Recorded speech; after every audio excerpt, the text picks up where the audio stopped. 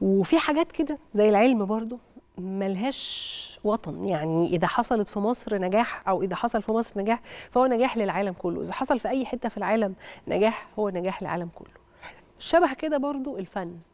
الفن طول الوقت عابر للغات عابر للاختلافات وعابر للثقافات وهو لغة لوحده. في حد ذاته هو لغة. آه بنشوف في الفترة الأخيرة فعاليات فنية وفي حالة كده من النشاط الفني والثقافي العالمي اللي حاصل في مصر. أفتكر إذا كانت معلومتي مظبوطة إنه بدأت أول تجربة شبه دي جمع فنانين من مختلف أنحاء العالم دعوتهم لمصر آه، احتضانهم في مكان ما عشان يقدموا منتج فني وحضاري للعالم.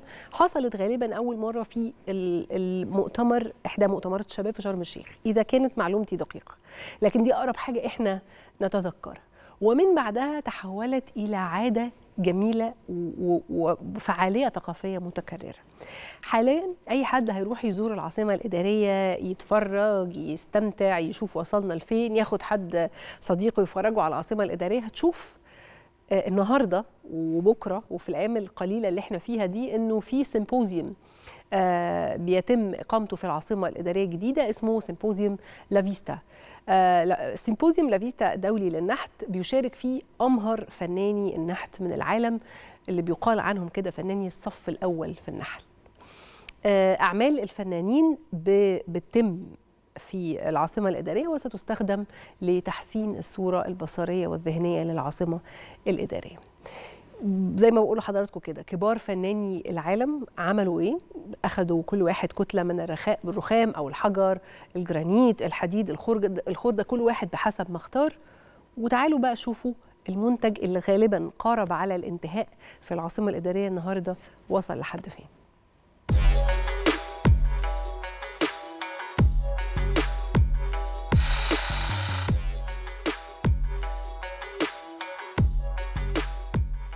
إحنا هنا في مقر ورشة سيمبوزيوم العاصمة الإدارية الجديدة لافيستا لافيستا سيتي العاصمة الإدارية الجديدة. معانا النهارده 16 نحات من من عباقرة النحت في العالم. يعني ليهم كل نحات ليه حوالي آه، 20 ل 30 عمل نحتي في جميع عواصم العالم. آه، النحاتين الموجودين حاليا من أوكرانيا وروسيا وألمانيا وإيطاليا وتركيا وشمال مقدونيا.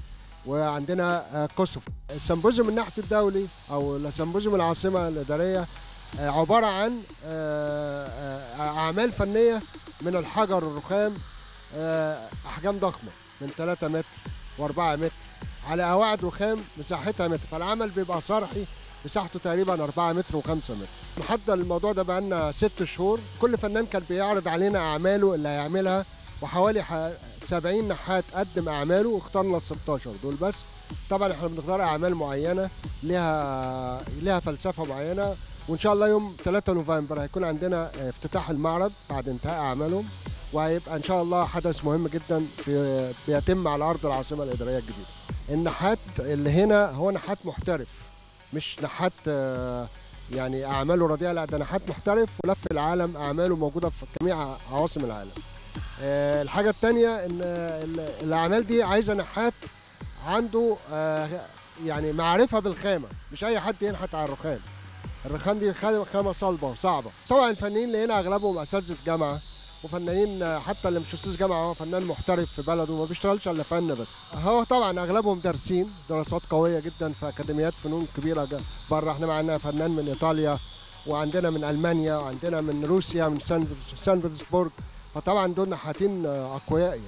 وإحنا عملنا لهم زيارة كمان آه، لم- لمعالم مصر السياحية أول ما جم أول يوم.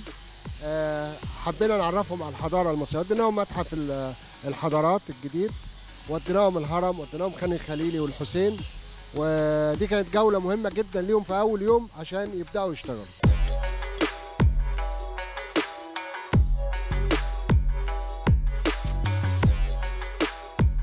Actually, this is my fourth time in Egypt. So I have been traveled and I have met a lot of Egyptian artists and people. Uh, I like it very much. It's a very big country filled with uh, historical heritage, culture, and I hope uh, this will remain also in the future for Egypt. And all the Egyptians. This is my first time in Egypt, and uh, it's a very nice experience for me. And your culture is very nice and so magical. Uh, the history of Egypt also very. Int- I'm very into. I'm very interested with uh, the history, the ancient history. So nice to be here and uh, nice to meet you all. No, it's not the first time. I'm, I don't know, maybe nearly 10 times I was already in Egypt and uh, many times with the same organizer, like here, Ostraka, but also I participate one time this big uh, symposium in Aswan. ده أول سيمبوزيوم لل- للنحت يكون في العاصمة الإدارية وأنا بتشرف إن أنا أكون النهاردة المشارك المصري الوحيد بالنسبة لل- للرخام. آه، مع فنانين آه، طبعا من آه، دول كتير جدا. يعني أقل حد فيهم عنده 35 مشاركة دولية يعني في أوروبا كلها. تقدم حاجة م- معاصرة وفي نفس الوقت برضه هي مصرية.